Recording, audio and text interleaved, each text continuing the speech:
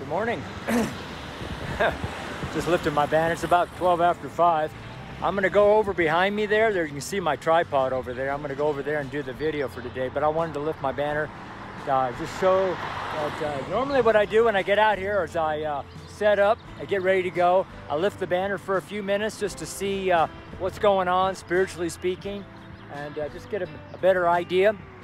And then I put my banner down and uh, then I go do my video. Then I come back and lift my banner again.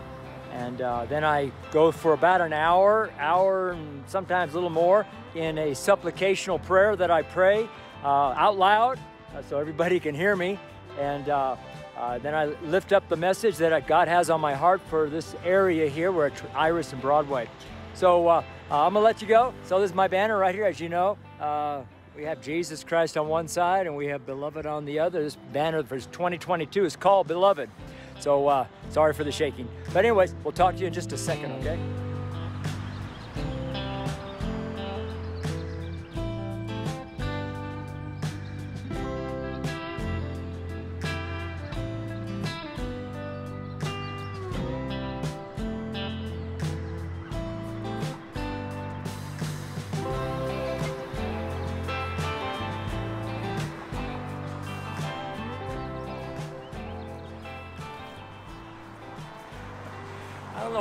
That is so funny to me to walk up to the camera like that. Uh, I'm actually behind the camera 10 feet or 6 feet praying, asking the Lord for help. so this is uh, Iris, the cars coming off there are Iris.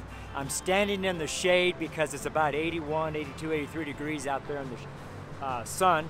And uh, I can't lift my banner because of the uh, wind and do my video. But when I'm done with my video, I'll lift the banner and hide behind the shade of my banner.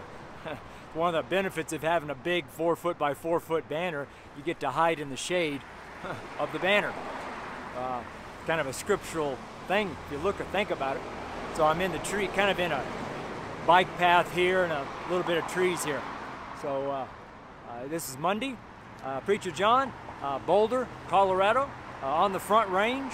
Uh, just about 30 miles, 35 miles outside of Denver, and uh, about halfway in the state from Wyoming to New Mexico, and uh, about a little over halfway between Utah and Kansas, right in the middle of the United States, roughly speaking. Uh, even Kansas, you know. Anyways, uh, that's where I am, and this is the north end of Boulder. This is called North Boulder. So I'm in 20 some odd different corners, 25 different locations here in the city, and 14 other cities, including Boulder, 13 plus uh, Boulder, 14. And uh, six days a week. And uh, we've been doing this, and two more weeks, Memorial Day weekend will be my three year anniversary, and I start my fourth year of my 10 year window of uh, banner preaching and ministering for building Gospel Evangelist Church and um, building the kingdom of God. I hope this is coming through. Uh, thank you for being here. Let's uh, let's pray, okay? If you you know feel led to. Lord, I just thank you for allowing us to come together and to hear what you have to say in the in your holy scriptures. I thank you, Holy Spirit, that you're going to teach us things that we may not have never heard before, or you're going to bring back to our remembrance the things we have heard before, and that we'll be able to apply them because you give us power to be a witness to all the people who are in our life and I thank you, Lord, for filling us with your beautiful, wonderful Holy Spirit. Holy Spirit, we fully and completely welcome you and turn this over to your lead and your guidance. In your name, Jesus, we pray. Amen. Amen. Uh, and I go, you know, when I lift my leave my corner, I always uh, give everything to the Father. I worship the Father. I give all this to, to the Father. And so, if you notice, uh, I'm a little bit of a different preacher uh, because uh, I pray and I acknowledge the Godhead. Uh, I don't pray to a Trinity. I don't pray to uh, uh, any kind of idol. I pray to Almighty God, and God is a uh, there's a Godhead, and in 1 John 5 7, it's the Father, uh, the Word, and the Holy Ghost, and that makes up. That's one. That makes God. Uh, just like, and we're made in that image, God's image and likeness. We're just like God. We're that, you know, it's not three individual separate gods, one God. And in the Trinity, I don't know why I'm saying this, um, but in the Trinity doctrine, there isn't one God. Uh, they say it, but they don't really. Uh, the only the only reason they say it is because uh, it's true. but what they really say before that is there's three gods, three individual separate gods, and uh, that's not true. Uh, there's only one, and uh, it's one of the reasons why. One of the reasons why I caution people to using words and terminologies and phrases that come from. I hear a old lawnmower behind me there. I hope he's not going to come down through here. He might. but uh, uh, words and phrases and uh, catchwords from uh, other, uh, what I call cult denominations. Uh, because there's denominations that say Jesus Christ, but they're not of the Jesus that you and I are from, if you're a born again believer. If you're not born again and you're not a believer of the Lord Jesus Christ, uh, why not? Uh, why not? Uh, this would be another great day. Every day that I preach to me is a great day to receive Jesus Christ as your Savior. Uh, Romans 10:13 says, "If you call upon the name of the Lord, you'll be saved." Uh, uh, and he doesn't delineate. you have to be this, or you have to be that, or you have to. Yeah, here he comes. Oh boy, I'm gonna cut this off right now. Okay, I'm back. that lawnmower guy, the county parks guy wanted to mow all this, so I had to move over there for a few minutes. Uh, boy, you guys uh, get. I hope this is. Uh, is this okay? I don't know. Uh, anyways, outside, you know. All, all you guys are preaching inside of buildings and churches and bedrooms and living rooms and dens. you ought to preach outside for a while. you'll you'll see that it's a whole lot different preaching outside especially when you go to a lot of different locations. So, uh, anyways, uh, uh, sorry.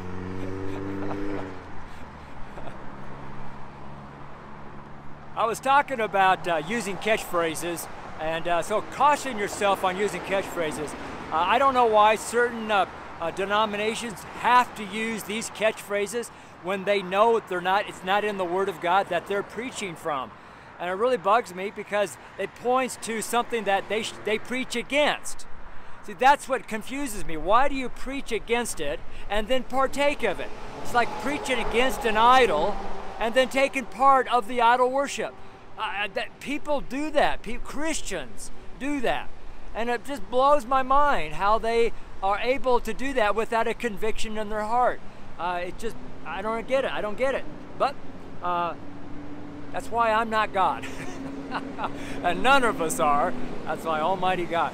Anyways, I don't want to go any more there because uh, that's a real touchy subject for a lot of people. They want to do what they want to do because of their church or their denomination or their upbringing or you know whatever the case may be. That's why I caution everybody on the preacher you're listening to, the preacher's books that you're reading, and the uh, church that you're going to, and the uh, praise songs that you're listening to. There's a lot of occultic symbols that are in the body of Christ, and people are using those cult principles, uh, symbols, cult symbols, as a form of decoration, as a form of jewelry, as a form of coolness to relate. You don't need to use an idol to relate to the sinner. I guarantee it. you don't need to look like a sinner act like a sinner, be like a sinner to lead sinners to the Lord. You know, you don't have to be a drug addict to lead people to Jesus Christ. You don't have to be an alcoholic to lead people to Jesus. You don't have to be a pornography type person, whatever you call that, uh, to lead people to Christ. You want to be holy. You want to be pure. You want to be without blame. You want to be filled with the Spirit of God. You want to have your mind renewed to the Word of God. It's you, you want to walk in the light uh, and walk in the love of God. God is love. And uh, so I just want to exhort, ex, exhort you guys to, you know, whoever's listening, uh, uh to, uh, yeah, follow the Bible, the Word of God, King James Bible, you know, and uh,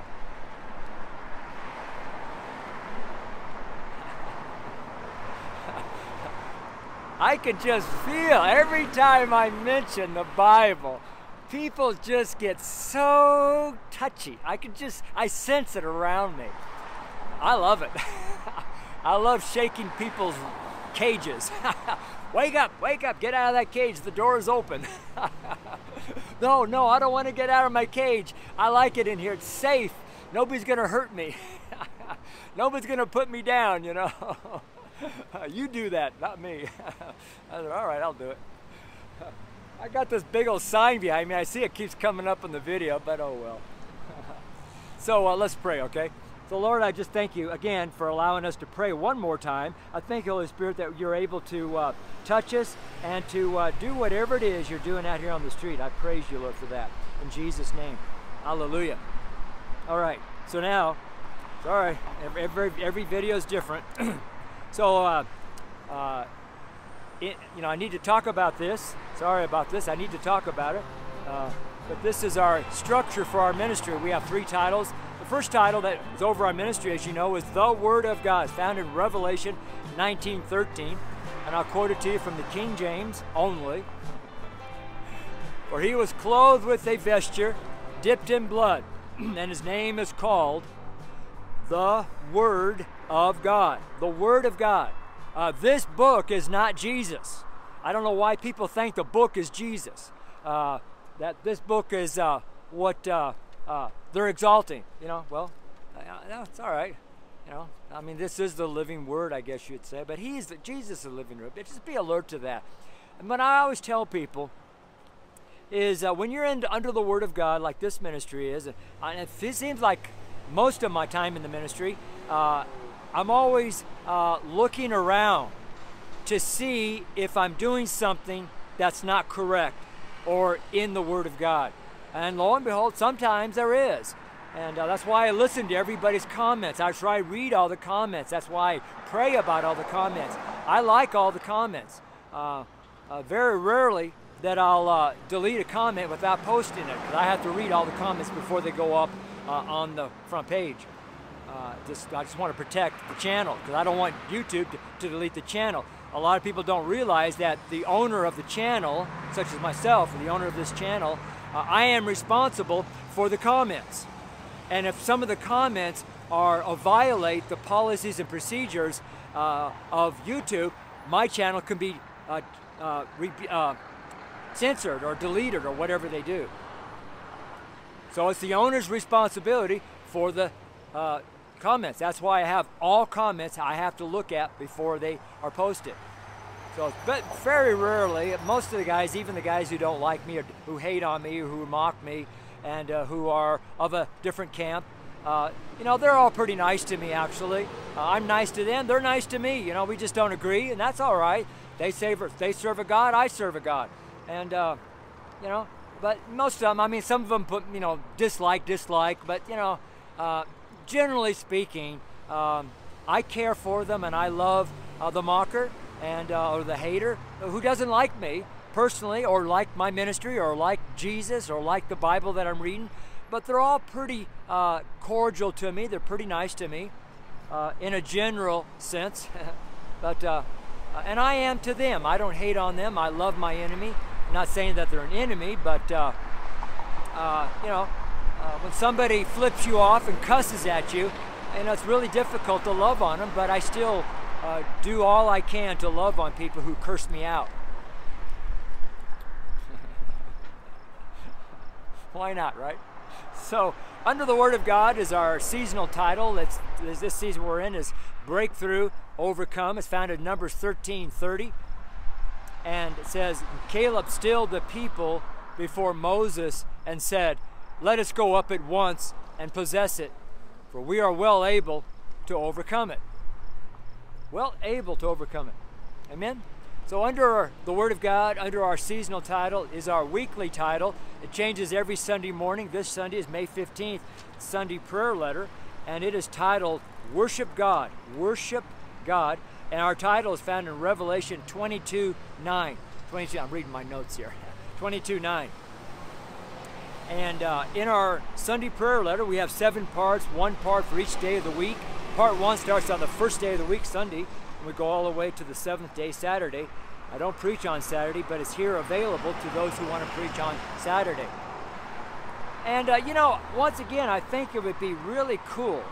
I maybe not, but it just keeps coming to me quite often. I, probably, I must have mentioned this a dozen times over the last couple years.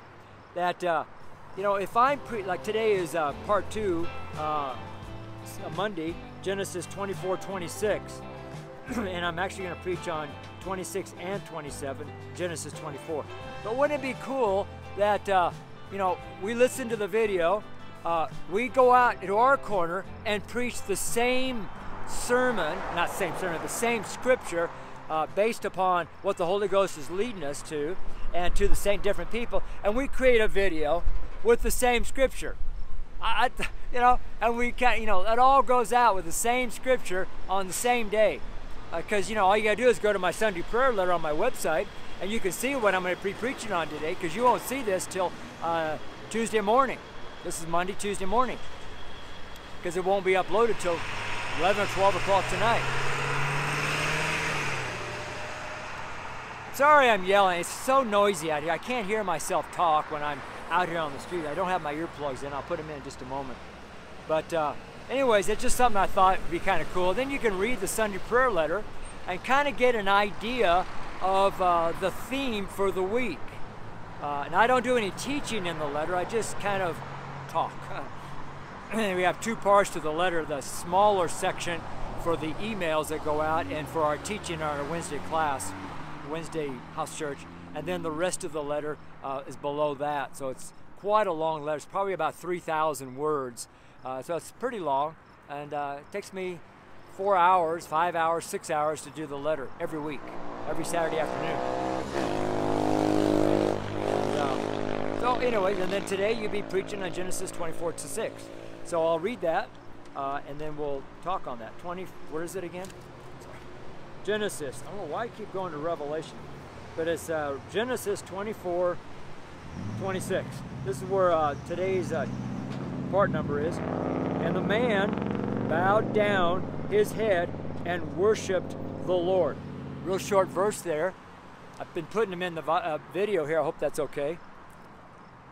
So uh, uh, what I want to do, now so you can see uh, our title came out of 22.9. I better read that too so you'll know it came out of the scripture. 22 verse 9 of uh, Revelation 22.9. Then saith he unto me, this is an angel speaking to the Apostle John on the island of Patmos as he was being, uh, uh, Jesus Christ was being revealed to him in the future. See thou do it not, for I am the fellow, thy fellow servant and of thy brethren the prophets, and of them which keep the sayings of this book. Worship God, worship God, worship God. Once again, worship is a two part word. The WR stands for worth, worth, uh, like net worth or worthy, uh, means valuable, lots of wealth within you. And you take that wealth that's within you and then you ship it. And ship, S H I P, is another word to uh, I wish I looked this up again, but it's something like a, uh, a principal item or a focal point or a, uh, a title that is supreme uh, or, you know, it's something like that. Maybe tonight I'll try to look that up. I looked it up and that's why I'm trying to say it like this. So it's the idea of worship is giving your whole wealth of everything you are to God. Worship God means that. Means to everything that you are. You just don't use it with your lips. Worship God with your lips or worship God. You take everything that's within you, everything around you. You take your whole life and you lift it up to God. And that's worthship. Because God is worthy, and you're worthy to worship God if you're a born again believer. Uh, you're a child of God. God is the creator, Almighty God. Right? So, uh, in this verse here, I, want to talk about something real quick. Uh, we're actually going to do 26 and 27.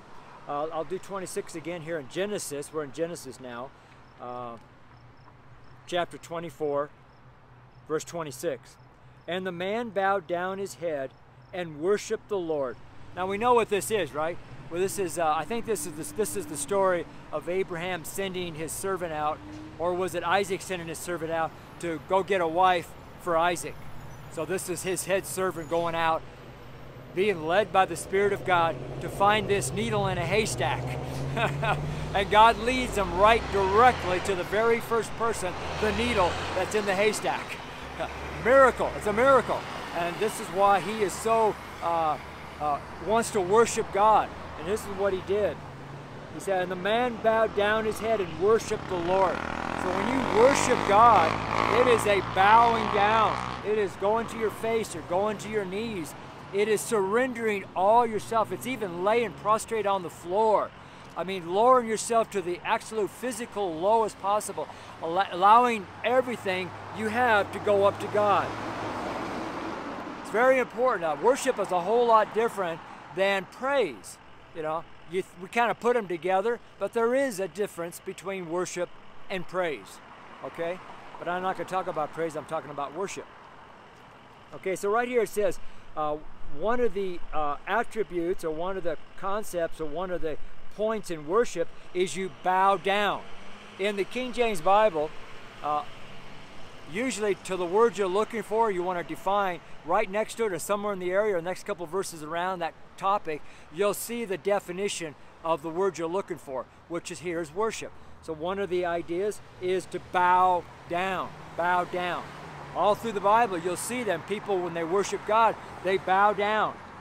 They bow down. That's a, it's a physical physical, I'm showing God my faith by physically bowing my body to God. That's why it frustrates me when in church they say, Oh, I bow down to you, Lord, some kind of a song like that, and I look around and nobody bows and I'm on the floor bowing down to God. But nobody else does it. So they, they give God praise with their lips, but with their body, they don't. See, that's not worship. That's called something else. so if in the song that you're singing and it says, I lift my hands, then lift your hands. If the song that you're singing says, I bow down, then bow down. You know, if the song that you're singing says, I dance before the Lord, then dance before the Lord.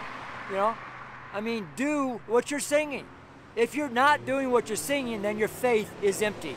Because James says, I'll show you my faith by my actions. And faith pleases God. So that's why bowing down when you worship is important.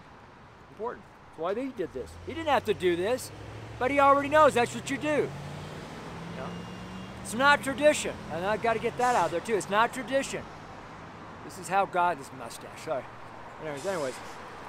Verse 27, and he said, Blessed be the Lord God. He was blessing God. Now, people around him probably heard him.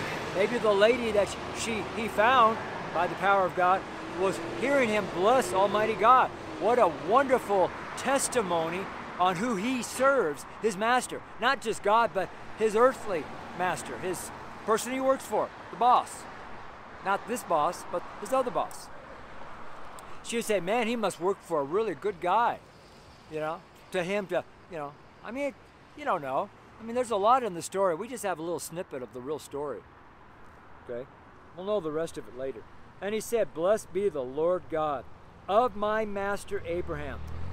You know, how about that? You know, he's actually on an assignment, physically gone on a trip, on an adventure to find this needle in a haystack. And he is telling the people around him and telling Almighty God that my master is blessed. Blessed be the Lord God of my master Abraham. You know, and in blessing people, you bless God. When you bless God, you bless people. When you love God, you love people. It's one of the, you know, that's the golden rule, right? Do unto God as you should, you want to do, that God wants to do to you. If you want God to love you, then love God.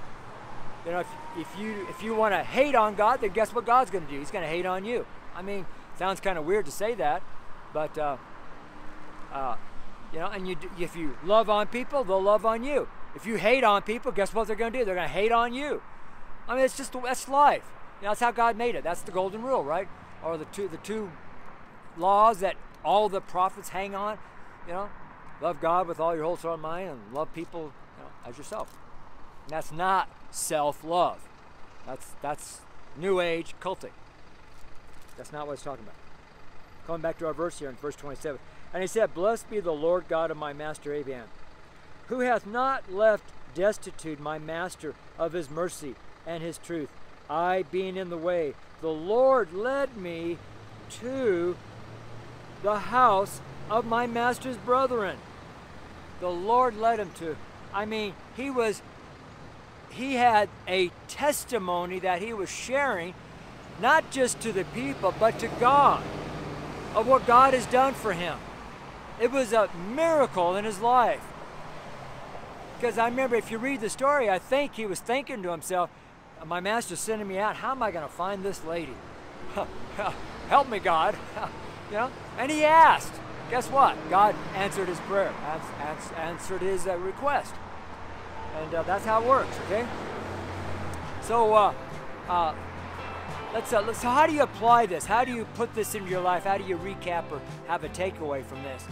And that is, uh, uh, number one, ask God for help. When you're going to go find that needle in a haystack, uh, say you're looking for a, a, husband or a wife, and a husband if you're female, and a wife if you're a male. Clarify that. And uh, so uh, uh, you ask, you ask God, and God's going to lead you and guide you. And uh, that's what's going to happen, okay? God bless you, sir. Doing my sermon. and uh, God's going to provide for you. It's Jehovah Jireh. We read that yesterday, I think, or the day before, sometime. Uh, uh, yeah, yesterday, Sunday, Jehovah Jireh. God's provision shall be seen on the mountain. The mountain of God, God's provision shall be seen. Sometimes you got to go up to the mountain of God to see God's provision. You know, I had to come to Boulder, I had to leave Redding, California to come to this mountain town to see God's provision. Strange, right? I mean, even God provides no matter where you are. God provided me for in Redding too. I'm not saying that. I'm just playing on words here, you know. Uh, anyways, so uh, ask and then move on faith. The master didn't sit at home. The servant didn't sit at home asking and asking and asking and asking and asking. He asked one time and they began to move on faith. Peter asked Jesus one time, Call me, come, tell me to come, or something like that. And Jesus says, Come. And he went. That's how he asked, God spoke, you act. One, two, three. So his master, the servant asked God. He heard God say, Go. He went on faith, found the needle in the haystack.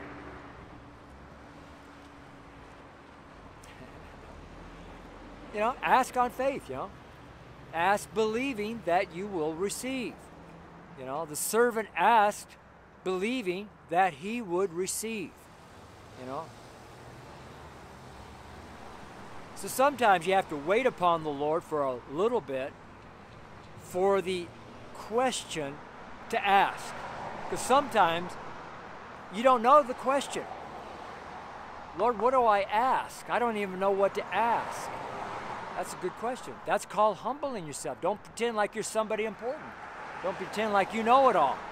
God knows it all. You don't. Amen? So let's pray. So, Lord, I just thank you that. Uh, uh, we can humble ourselves. We can bow down on our floor, on the ground, and we can worship you. And we thank you, Lord, that we can do that because of the power of Almighty God. And we thank you, Lord, for what you're doing, even here on this street corner and out here on this video. And I thank you, Lord, that we can lift up uh, the Word of God and we can minister, we can preach, we can do all kinds of things in the ministry, being an evangelist for Almighty God.